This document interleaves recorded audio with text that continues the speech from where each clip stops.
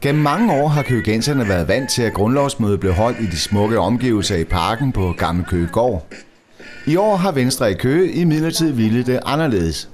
Jamen, øh, i første omgang så vil jeg sige, at vi har været utrolig glade for at være ude på Gamle Køgegård. Øh, det er jo et pragtfuldt sted, men øh, som Venstre også har sagt i mange andre sammenhænge, øh, vi skal også prøve noget nyt.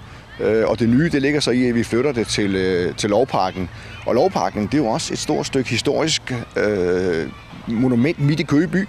Så øh, på den måde, så fornyer vi os også alligevel ved at bruge noget gammelt. Lovparken har lagt jord til fæstningsanlæg og vold. og ordet lov betyder egentlig vand, vil at mærke helst det varme af slagsen til brug for ølbrygning.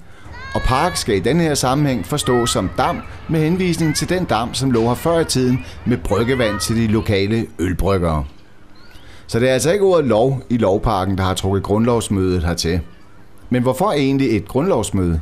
Jamen, øh, det er jo egentlig, som, som navnet siger, det er jo, øh, man fejrer grundloven, indførelsen af Danmarks Riges grundlov.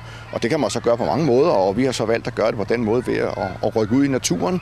Og der bliver så holdt nogle taler, og vi synger nogle sange, øh, har godt humør, og der er også lidt til ganen.